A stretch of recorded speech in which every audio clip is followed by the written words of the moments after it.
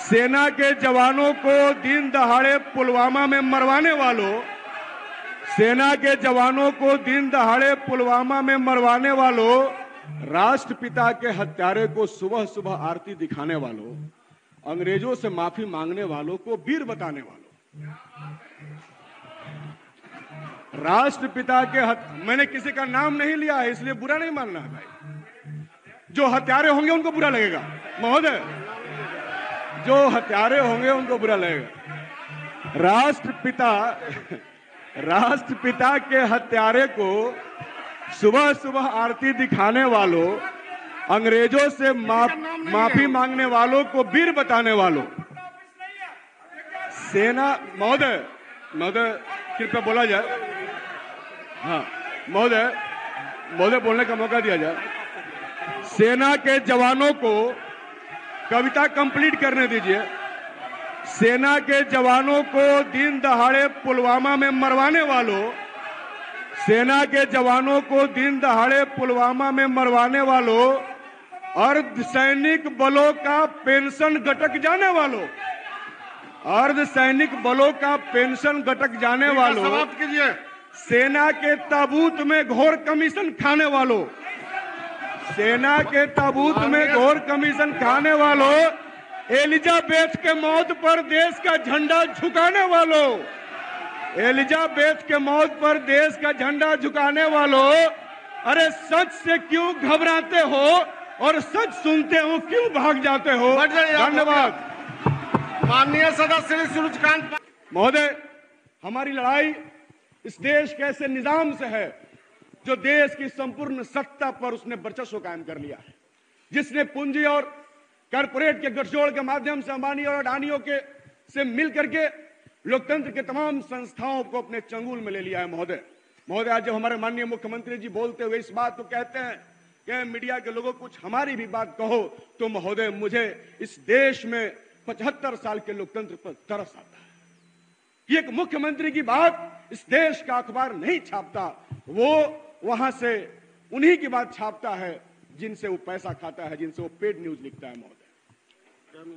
प्रतिपक्ष की बेचैनी देख रहा हूँ।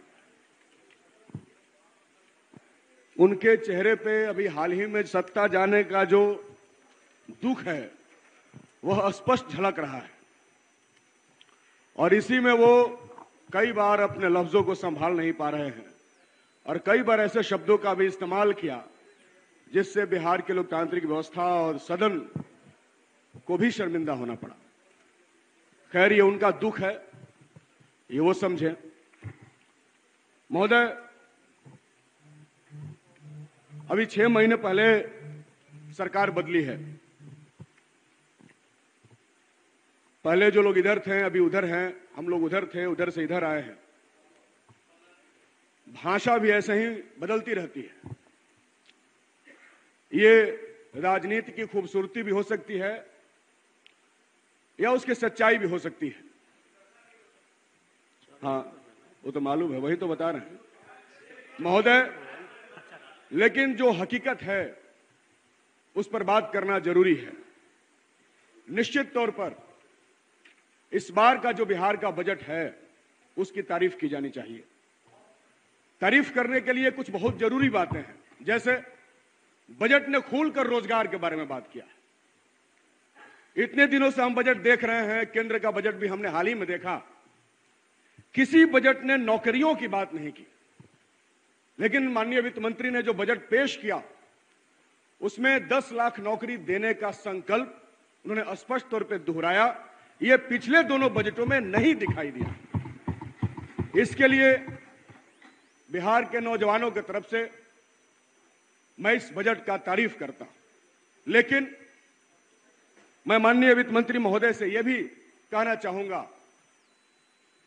कि बिहार के नौजवानों में खुशी का माहौल है कि उनको अब नौकरी मिलेगी, क्योंकि पिछले दिनों दो करोड़ नौकरी की झांसा देने वालों ने उनके साथ सिर्फ़ और सिर्फ़ धोखा ही दिया। हम उम्मीद करेंगे कि आपने जो बजट में वादा किया है, उस वादे को अक्षरशः पूरा करेंगे। और बिहार के नौजवानों की जो चिर लंबित मांग और प्रतीक्षा है, उसको ज़रूर आने वाले समय में बिहार की सरकार पूरा करेगी और 10 लाख नौजवानों को ज़रूर बिहार की सरकार सरकारी नौकरी देगी। महोदय महोदय, बिहार एक कृषि प्रधान राज्य है। कृषि की बहुत, कृषि का बहुत बड़ा योगदान है। जीडीपी में भी कृषि की भूमिका हमेशा ही अति महत्वपूर्ण होती है। लेकिन इस बजट में हमने देखा, महोदय, जब हम लोग बात कह रहे हैं तो हमारे कहने का मतलब यह भी है कि हम अपने ही बजट को समृद्ध भी करना चाहते हैं। क्योंकि हम जानते हैं कि यही बजट आने वाले दिनों में बिहार की जनता के दिशा और दशा को बदलेगा। इसलिए हम बजट को समृद्ध करना चाहते हैं। हमको जो समझ में आ रहा है, उससे हम सरकार को भी अवगत कराना चाहते हैं और बिहार की जनता को भी बताना चाहते हैं। महोदय, अगर बिहार के विकास का सपना हम देखते हैं तो उसके लिए कृषि के विकास को अपनी महत्वपूर्ण भूमिका में देखना होगा। बिना कृषि का विकास किए, बिना किसानों के आय को बढ़ाए, बिहार के विकास की कोई भी कल्पना पूरी नहीं हो सकती। अब मैं उनकी तरफ़ तो करूँगा नहीं। जिन्होंने कहा था कि 22 तक किसानों का आय दुगना कर देंगे, और अभी तक उन्होंने किसी भी चीज़ का दाम नहीं बढ़ाया, किसानों का आय दुगना नहीं हुआ। इसलिए किसानों के बारे में बिहार की सरकार को विशेष चिंता करने की ज़रूरत है। इस बजट में किसानों के लिए, खेती के लिए, कृषि विभाग के लिए दो करोड़ रुपए की व्यवस्था की गई है। महोदय, जो महज इस बजट का दो दशमलव आठ प्रतिशत है। महोदय, मैं बहुत ही विनम्रता पूर्वक सरकार का ध्यान इस ओर आकृष्ट कराना चाहता हूँ कि ये जो बजट का प्रावधान है इससे हम जो किसानों का डेवलपमेंट का सपना देखते हैं, विकास का सपना देखते हैं, वो शायद पूरा नहीं हो पाए। बिहार के किसानों की चिर लंबित मांग है, जिसको केंद्र की सरकार नहीं पूरा करना चाहती। जिसके खिलाफ किसानों ने दिल्ली में बहुत बड़ा ऐतिहासिक आंदोलन को अंजाम दिया, तब छप्पन इंच की छाती को पीछे हटना पड़ा, महोदय। बिहार अगर देश के केंद्र में आना चाहता है, अगर बिहार से मौजूदा सत्ता को देश की गद्दी से उखाड़ करके फेंकना है तो बिहार के किसानों के हित में बिहार की सरकार को एपीएमसी एक्ट को लागू करना होगा और मंडी व्यवस्था को संपूर्ण तरीके से लागू करना होगा महोदय। महोदय, हमारी लड़ाई इस देश के ऐसे निज़ाम से है जो देश की संपूर्ण सत्ता पर उसने वर्चस्व कायम कर लिया है। जिसने पूंजी और कारपोरेट के गठजोड़ के माध्यम से अंबानी और अडानियों के से मिल करके लोकतंत्र के तमाम संस्थाओं को अपने चंगुल में ले लिया है महोदय।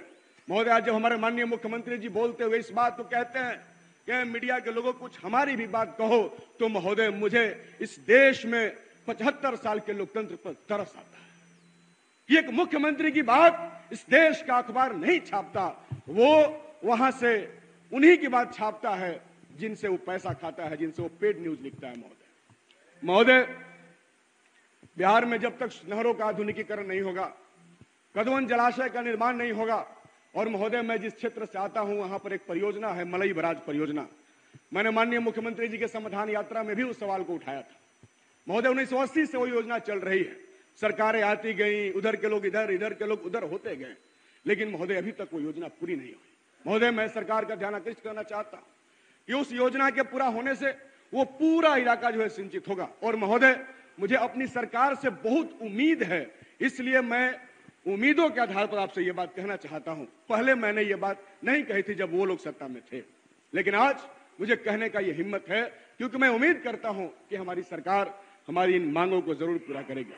महोदय, मैं आपको बहुत ज़्यादा तहे दिल से धन्यवाद देना चाहता हूँ कि आपने मेडिकल कॉलेज एंड हॉस्पिटल का स्थापना बिहार के अंदर किया। और सौभाग्य से मैं जिस ज़िले का नेतृत्व, जिस जिला से आता हूँ जिस विधानसभा का नेतृत्व करता हूँ हमारे क्षेत्र में एक मेडिकल कॉलेज और अस्पताल आप खोल रहे हैं। इसके लिए तहे दिल से आपका शुक्रिया अदा करता हूँ। और उम्मीद करता हूँ कि आने वाले दिनों में ऐसे ऐसे अस्पताल और भी खुलेंगे। महोदय, समाधान यात्रा में मुख्यमंत्री जी गए थे। निश्चित तौर पर यह बहुत काबिल तारीफ़ यात्रा रही है। कई सारी समस्याओं को हमने सामने लाया और उस पर उन्होंने बहुत ही विस्तार से बातचीत किया। और बहुत खुशी की बात है, एक सवाल जो हम लोगों ने उठाया था कि डुमराव में उस्ताद बिस्मिल्ला खान साहब के नाम पर संगीत महाविद्यालय का स्थापना किया जाए। महोदय, जान करके खुशी होगी कि सरकार की तरफ़ से उस दिशा में प्रयास किया जा रहा है। इस प्रयास के लिए भी मैं सरकार को बधाई और धन्यवाद देना चाहता हूँ। महोदय, बजट में बहुत सारी चर्चाएँ हैं, महोदय। महोदय, योजना के मामले में एक लाख करोड़ रुपए का हमारा बजट है। महोदय, मैं चाहता हूँ कि इस बजट को भी बढ़ाने की ज़रूरत है। पिछला बार भी यह बजट इतना ही था। कई सारी सड़कें अधूरी हैं कई सारी योजनाओं को पूरा करने की ज़रूरत है, महोदय। महोदय, पूरे बिहार में, पूरे बिहार में, महोदय, अभी जो चर्चा बिजली पर है, ये बहुत दुख के साथ कहना पड़ रहा है कि गरीबों के बिजली बिल नहीं जमा करने की वजह से काट दिया जा रहा है। और ये घटनाएँ लगातार बिहार में घट रही है। और पूछने पर अधिकारी लोग कह रहे हैं कि ऊपर से कोई साहब का या एमडी का फ़ोन आया था जिसकी वजह से बिजली काट दी गई। वहीं कुछ लोग का कितना बिजली बिल बकाया है बावजूद इसके? उनके बिजली नहीं काटे जा रहे हैं। ये इम्प्लीमेंटेशन में एक बहुत बड़ा समस्या है, महोदय। मैं समझता हूँ कि इसको ठीक करने की ज़रूरत है।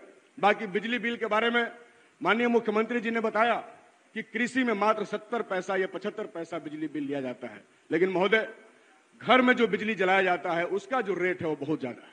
वो आठ रुपया प्रति यूनिट बिजली हमारे गरीबों को देना पड़ता है। महोदय इस बजट के माध्यम से मैं आपसे मांग करना चाहूँगा कि दिल्ली की सरकार ने जिस तरीके से, दिल्ली मतलब आपकी सरकार नहीं, आम आदमी वाली सरकार, जिस तरीके से 200 यूनिट बिजली माफ़ किया है, हमारी सरकार को भी गरीबों के लिए इस तरीके से बिजली माफ़ करने का कोई प्रावधान बिहार की सरकार को लाना चाहिए और गरीबों को इससे राहत देना चाहिए। महोदय, बहुत थोड़ा सा, चूँकि बहुत चर्चाएँ हुई केंद्र के बारे में, अभी हमारे नेता प्रतिपक्ष है भी नहीं और इधर संख्या भी कुछ कम हो गई है बहुत सारा बात कर रहे हैं। अभी हाल ही में महोदय, केंद्र का बजट पास हुआ। वो कह रहे थे कि हम सरकार को आईना दिखा रहे हैं। हमने कहा कि धूल तो आपके चेहरे पे है और आप आईना क्यों साफ़ कर रहे हैं? आप किसको आईना दिखा रहे हैं? आईना तो आपको देखने की ज़रूरत है। महोदय, इन्होंने मनरेगा में बजट को कम कर दिया, महोदय। महोदय 2020 इक्कीस में मनरेगा का बजट अंठानवे हज़ार चार सौ सड़सठ करोड़ रुपया था। जो 2022 तेईस में नवासी हज़ार चार सौ करोड़ रुपया और इस बार महज साठ हज़ार करोड़ रुपया हो गया। यहाँ तक कि काम भी नहीं बढ़ाया गया और लगातार मनरेगा में कटौती किया जा रहा है। ये लोग लगातार मजदूरों की बात कर रहे हैं। मनरेगा की में फंड की कटौती करने वाले के पास ये अधिकार नहीं है कि वो मजदूरों के बारे में बात कर सके। महोदय, केंद्र की सरकार ने सिंचाई की योजना में भारी कटौती की है। पहले बारह हज़ार नौ सौ चौवन करोड़ रुपए इसके लिए आवंटित था, लेकिन इस बार इन्होंने उसको घटाकर दस हज़ार सात सौ सतासी करोड़ रुपया कर दिया। राष्ट्रीय स्वास्थ्य मिशन में इन्होंने भारी कटौती किया, सतासी हज़ार एक सौ साठ से घटाकर, करोड़ से घटाकर छत्तीस हज़ार सात सौ पचासी करोड़ कर दिया। और महोदय, इनके बिहार के एक सांसद हैं, बहुत बोलते हैं, पिछले दिनों बेगूसराय में दो लड़कों के लड़ाई को दंगा में तब्दील कर देने की कोशिश कर रहे थे। उन्होंने बिहार के मजदूरों को धमकी दिया। बिहार के मजदूरों को धमकी देते हुए कहा है कि मनरेगा का पैसा नहीं देंगे। शर्म आनी चाहिए, उनको जो मजदूरों के खिलाफ इस तरीके की बयानबाजी करते हैं और मजदूरों के खिलाफ वो बोलने का काम करते हैं। महोदय, देश में आज लोकतंत्र को बचाने की लड़ाई चल रही है। देश में लोकतंत्र खतरे में है, ये बातें स्पष्ट तौर पे दिख रही है महोदय। इसलिए आज पूरा बिहार, जो कि लोकतंत्र का जननी रहा है, पूरा बिहार जिसने लोकतंत्र को स्थापित किया है यहाँ पर किसी भी कीमत से लोकतंत्र की हत्या करने वालों को हम लोग बिहार में नहीं रहने देंगे। उसके खिलाफ हमारी लड़ाई चलेगी, महोदय। महोदय, छोटी सी बात है, लाइट आपका जल गया है। हम जानते हैं कि आप बहुत जल्द कहेंगे कि बात को खत्म किया जाए। इसलिए एक छोटी सी कविता है, मैं ज़्यादा समय नहीं लूँगा। बस ऐसे ही कल कुछ हुआ, कुछ घटनाएँ घटी, इधर की उधर बात हुई तो मेरे मन में एक अपना ख्याल आ गया, जिसको मैंने कल ही अपने पुरजी पे लिखा था। कल मुझे बोलने का मौका नहीं मिला तो मुझे लगा कि कल मिलेगा तो मैं आपको ज़रूर सुनाने की कोशिश करूँगा। महोदय, कृपया विपक्ष लोगों से कहना है कि हाला नहीं करना है। ध्यान से सुनिएगा तो बाहर बयान देने में मज़ा आएगा। जैसे कल महबूब जी वाले पे दे रहे थे, है ना? ध्यान से सुनिए। राष्ट्रपति हाँ लगा लीजिए लगा लीजिए। मज़ा आएगा, बहुत शानदार है। राष्ट्रपिता के हत्यारे को सुबह सुबह आरती दिखाने वालों, अंग्रेज़ों से माफ़ी मांगने वालों को वीर बताने वालों। राष्ट्रपिता के हत... मैंने किसी का नाम नहीं लिया है, इसलिए बुरा नहीं मानना है भाई। जो हत्यारे होंगे, उनको बुरा लगेगा। महोदय, जो हत्यारे होंगे, उनको बुरा लगेगा। राष्ट्रपिता राष्ट्रपिता के हत्यारे को सुबह सुबह आरती दिखाने वालों अंग्रेज़ों से माफ़, माफ़ी मांगने वालों को वीर बताने वालों। सेना महोदय महोदय कृपया बोला जाए। हाँ महोदय महोदय बोलने का मौका दिया जाए। सेना के जवानों को कविता कंप्लीट करने दीजिए।